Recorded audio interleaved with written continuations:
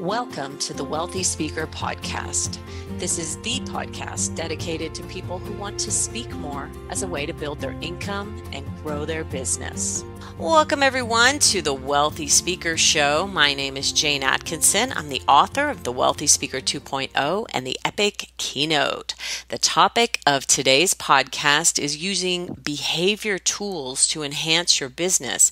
Our guest expert is Jill Davis. Welcome, Jill. I am so excited to be here, Jane. Thank you. Uh, you're coming to us from Snowstorm, Colorado. So, welcome, and uh, we'll bring you up out of the chaos just for a minute here. Let me give everybody a brief overview of your work.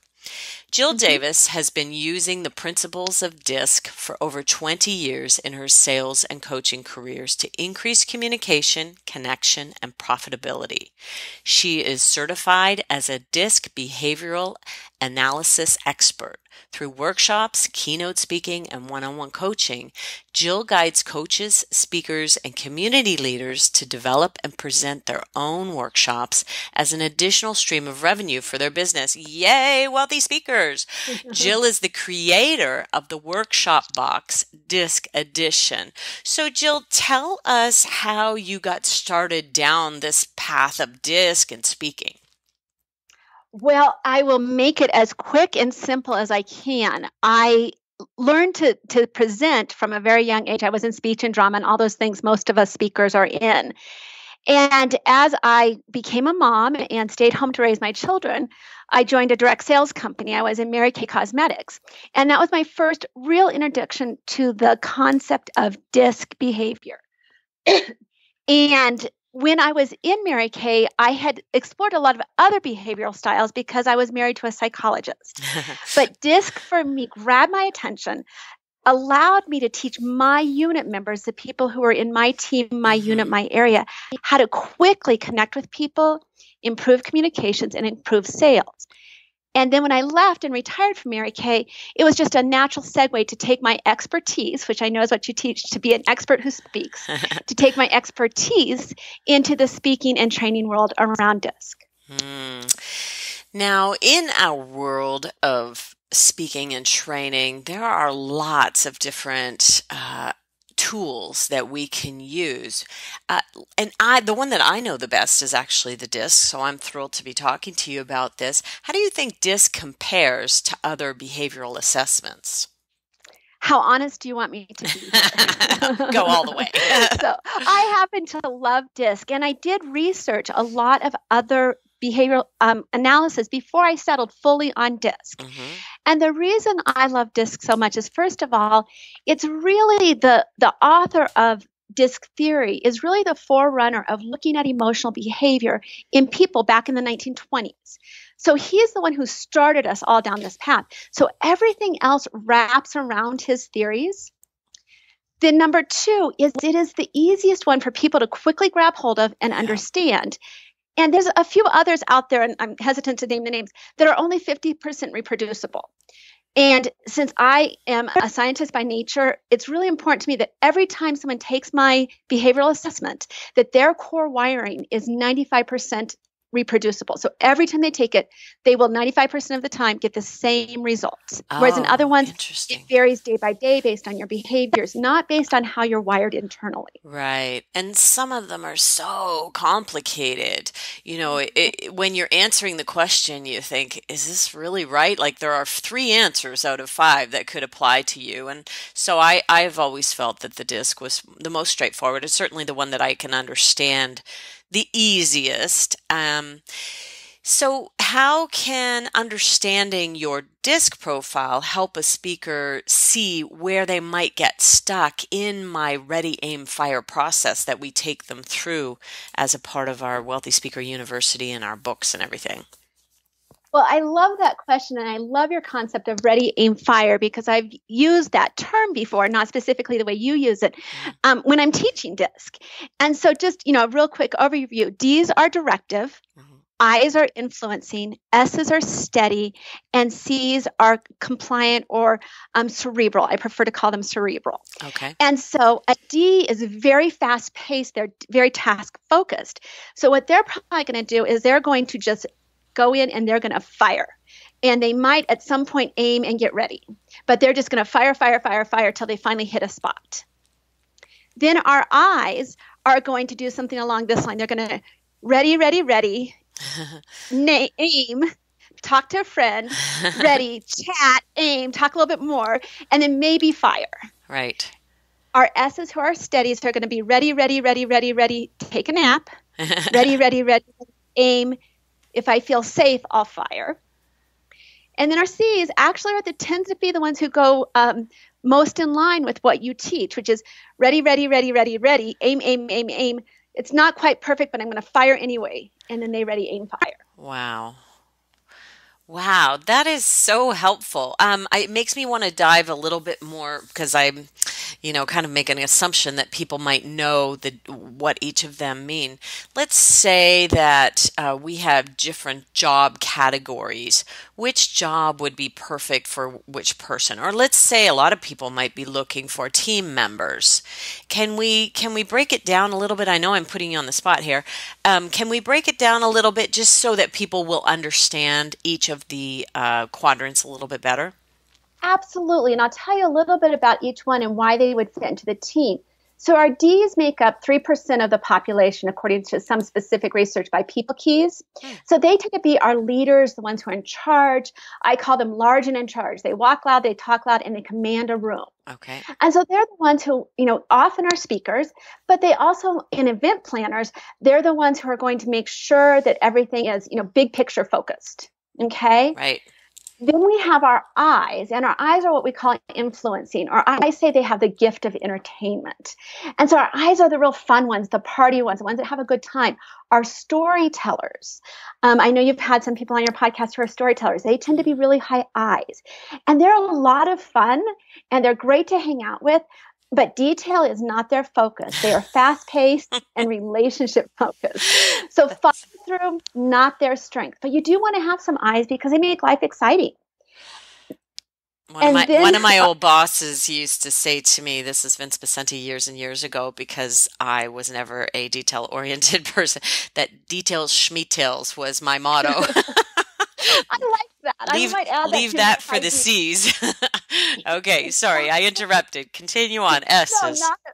No, not, exactly. And that's what happens when I teach this, Jane, and when I speak and share it with audiences, everybody goes, Oh, that's me. That's exactly mm. what happened to me, just like you did. So our S's, which is our steady ones, they are a little slower paced and they're very relationship oriented. They're really good at making people feel comfortable and safe. They're the ones who bring us coffee. You know, when we're speaking, they make sure we have our water bottles and everything's laid out for us and everybody in the room has coffee. That's our high S's. Mm-hmm. And then our C's, which I have zero C in me. When I grow up, when I wake up in my next lifetime, I'm going to be a C. they are the ones who are really detail oriented. And we desperately need them because they keep us on track. Mm-hmm. They let us know when, you know, well, yeah, you're flying to San Diego today, but you've got to be in New York the next day. So we got to figure out how you're going to get in between those two places quickly. They set all that up. We just know where we want to go. So let's say we're hiring someone to really manage a lot of the nitty gritty little details of our business that we don't want to manage. Um, we need somebody who has at least a fairly high C, correct? Correct. So, and my favorite is a high C with some D. Okay, gotcha. And if we're hiring someone to sell us, would you say that they would need to have a fairly high I? A lot of I because they're going to really be able to see the beauty in everything we do and they ignore our mistakes. well, God love them. yeah. uh, that's great. And also, they're going to be people people and they're going to enjoy talking to people on the phone and, and building relationships, correct? Exactly. And they're not afraid to get on the phone. Okay. And they are their, one of their fears though is fear of social recognition okay. of loss of social recognition. Oh right. So if you have a high i who is not yet steady in their place you don't want to send them into a room of people without somebody they know. Okay fair enough. And would you say though that a really solid team member who's going to stay with you true blue for years and years and years and years might be somewhat of an s Absolutely. I call our S's our happy little ducks because they just love hanging out with us. They love taking care of us. And they're really good at marketing as well because they make people feel important. And that's what everybody wants is to feel important. Okay. So that's a little bit of understanding around the four quadrants. Let's switch into show me the money because we know the D's at the other end of this line are saying, come on, Jane, get to it. Okay. So, um, how can having a workshop kind of ready to go increase a speaker's revenue stream? Well, I think every speaker, I really believe this and I teach this, every speaker needs a workshop ready to go in their back pocket. Mm-hmm. Because I don't know about you, but I've shown up to do a keynote and a breakout speaker has disappeared, mm-hmm. didn't mm. show up, was sick, whatever. I will make the event planner so happy and I will increase my revenue by having something ready to go. And I say ready to go, meaning that it's already prepared. All your slides are ready. All your handouts are on a disc on a flash drive, so you can just hand it to the event planner, and you're ready to walk into a room. And I love the disc concept or anything that teaches communication because we can wrap communication. Every speaker that's listening to you, I believe, Jane, mm-hmm. can wrap communication and understanding other people around any topic they speak on. Absolutely, absolutely. And lots of our uh, listeners may already have something that they're using. If that's the case, fine. Uh, this is just another option for people. So, not only can it help you in your interaction with the client, which I'd like to kind of talk about that uh, a little bit here as well. You know, uh, getting to know event planners, but you can also integrate it into your teaching, and that can be tremendous. And people love to know about each other when they're in a classroom and we're talking mm-hmm. about this. Don't they get really excited about that, especially in team building type programs? Absolutely. I love teaching. I do a lot of team building around DISC, and I love it because just like you did, you grabbed hold of you know detail schmetails. We mm-hmm. all see something in ourselves that we maybe don't necessarily love, and that other people can be critical about, and it takes it out of that criticism, puts a name to it. This is my personality style or my behavioral style, and it's just a lot of fun con- conversation between people. It really creates camaraderie with a team. Love that. Love that. Okay, so let's talk about connecting with event planners in order to get the engagement. How can DISC help us in that regard?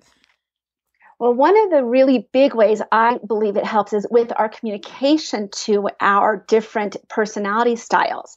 And I do have a quick way to, to recognize personality styles, we'll talk about hopefully in a bit. But once you know their personality style, D's, give them bullet points. Do not write long epistles when you're writing an email mm. to a D.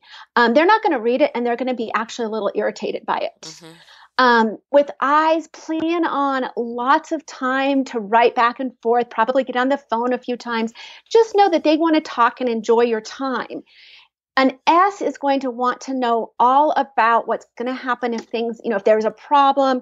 They want to make sure that you are you have been around. So they're going to want a lot of endorsements. They're going to want to know what your success has been and what is really going to keep you showing up. Important to them that they not have any kind of conflict in the situation. Okay. And then the C's want every I dotted, every T crossed. And so if you don't have an answer immediately for a C, they ask you a question. You know, as an I, I have been known to maybe make up an answer to to questions just to, you know, just to get it out there and be done with it. Um, C's will notice that and it will um, develop, make them uncomfortable with you. So if you're working with a C and they ask you a question you don't know, make sure and just tell them, I don't know, but I'm going to find out and get right back to you. That will make them much happier than if you create something up in your head like I've been known to do. so what would be some indicators that would allow allow us to understand which type we're dealing with. We're not going to say, hey, before I start my relationship with you, would you mind taking this little 15 minute test? Uh, what would be some signals that we could go, oh, okay, I'm dealing with a D here? Exactly. I love that because I have, have used that example before. Don't ever ask me to take the test. It's kind of rude. uh, so, you know, the easy ways are to read into their communication. D's are going to bullet point you. I's are probably going to have a lot of typos, maybe, if they don't have Grammarly. And they're going to, to have, you know, longer stories to you. S's are going to be, you know, real cautious about approaching you, you know, take lots of time. C's again are going to have very long, maybe three or four page letters with contracts and that kind of detail. Right. So that's the first way is through the email.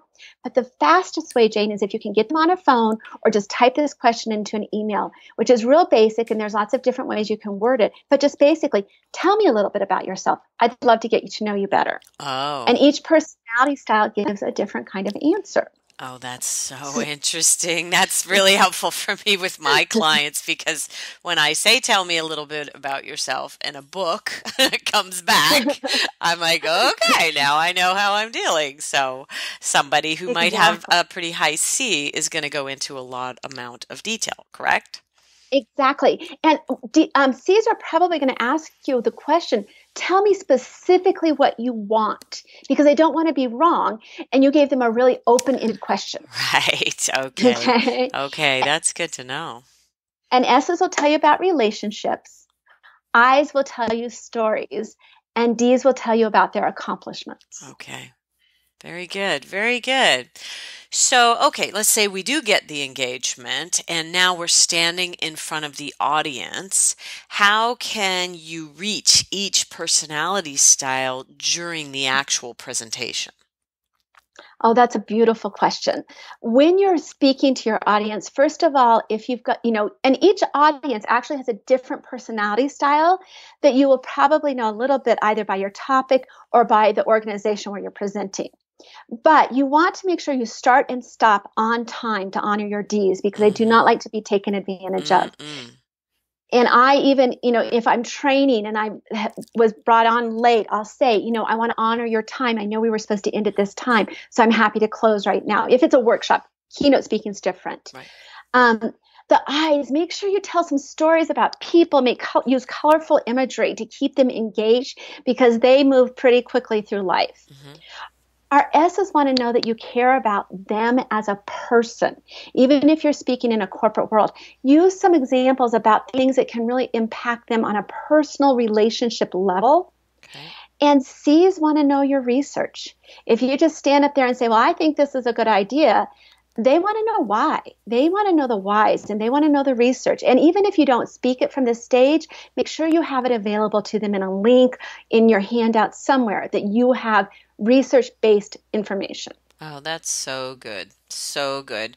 Okay, so um, you mentioned something about Wonder Woman. What's Wonder Woman got to do with anything? I love that because so many people get lost in disc and they can forget about, you know, well, I can't really remember all this. William Marston is the man who in 1928 wrote the original book that introduced disc theory. And nobody remembers who William Marston is, but a few geeks like me who love personality styles. but he also created Wonder Woman. Oh. And so he is the original designer of Wonder Woman, and he actually used some of her superpowers to um, correspond with the DISC styles. Wow. And I can tell you what those are real quick if you're interested. Yes, absolutely. okay. so for the D's are her magic bracelets. Mm-hmm. Because when an Amazon loses her bracelet, they go insane with rage. And D's may occasionally get upset if things don't go correctly. However, if a villain fuses their bracelets together, it weakens the wearer. And D's are very independent. So that's a reminder that if they're joined too tightly with other people, they are not as successful. Mm. Interesting. For the I. yeah. And so, and he did this intentionally as he created this. For the I's, it's the power or tiara. Um, I's love to attract attention, and the tiara really represents her femininity, her beauty, her um, success in the social world. Hmm. And then uh, for the S's, that's fascinating. She, you know, she understands it's, and nobody ever thinks about this because we don't realize the connection. But S's, um, Wonder Woman can um, understand and communicate with animals, which is very relationship based. Mm. And the S's have a very high skill of listening. And then, of course, with our C's, it's the lasso of truth because C's want to know the truth. Hmm. Wow. I've always been aware. So I am an I with a D uh, backing it up. And my D can come out if the other I's cannot make a decision. I really, um, you know, don't like traveling in a large group of people, which is not very good because I'm getting ready to go to uh, a big wedding down south with 35 people. Ah, um, but if people can't make a decision, it drives me crazy, and then my my D picks up. So different pieces of this can actually um, under stress and various situations, you, whatever your m- most uh, predominant behavioral style, maybe getting taken over by something else, can it not? Absolutely. And we all have like a primary and a secondary, and we go into one or the other under stress. I'm a high I with a secondary S, but I go into my S under stress. Mm. So, what does that mean? So what that means is an S is very relationship oriented and a little bit um, slower pace. So I hide away. But when we have a primary and secondary, that's simply and, and one of the cautionary tales I always give when we talk about this, Jane, is this is not to put anybody in a box or to say you are this way. Sure. It's to help you understand yourself better. So when you say, you know, you can become, you know, kind of frustrated with people, you're aware of that. You know that that's part of who you are. So you can manage that and go, okay, wait a second, I'm in a room full of S's. I can let them take a few more di- minutes to decide. Or you can say, you know what, the S's want me to make the decision. I'm just going to make it. Yeah. so you get to, to use the knowledge to interact with other people in a better, more efficient way. Uh, you'll probably like this. I'm going to put myself, I'm going with my family, my husband's family, and my family. I'm going to put oh myself my. in a joy bubble yes, exactly. Uh, just let it all bounce off of me. Somebody else can make the decision. I'll be in the bubble. Thank you very much. Probably sipping a margarita or something. I love that. Oh, okay. So you've got some things for our listeners. How can they get in touch with you? And um, what is it that you would like to offer them up today? Yeah, Jane, thank you so much. So I they can get in touch with me by emailing me at jill at jilldaviscoaching.com. And my website is real simple. It's theworkshopbox.com. Okay. And if they use your famous um, training, Ready, Aim, Fire, they can take 15% off of any one of the products that I have available, including one that's just a really basic understanding of DISC, all the way up to a ready to go workshop for them. Wonderful. So that's going to be in the coupon code at checkout? That's how you'll use yes, that ready, exactly. aim, fire. Does it matter mm-hmm. all lowercase or all uppercase? Nope, it doesn't matter. Okay, fantastic.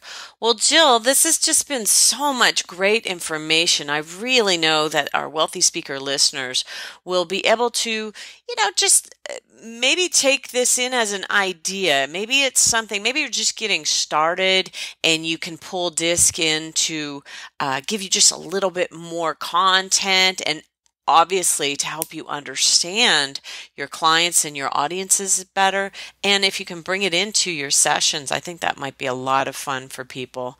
So i anything anything else you'd like to add before we close today not at all, Jane. Just thank you so much for letting me share this with your listeners. It really does make a difference when we understand ourselves and then we can understand others better. Wonderful. And for that, we will say uh, thanks everyone for listening, and we'll see you soon, Wealthy Speakers. Bye for now. Thanks for listening to the Wealthy Speakers Show. Please visit speakerlauncher.com for your free Wealthy Speaker audit and visit speakerlauncher.com forward slash podcast for show notes and many more resources to help you catapult your speaking business. See you soon, wealthy speakers.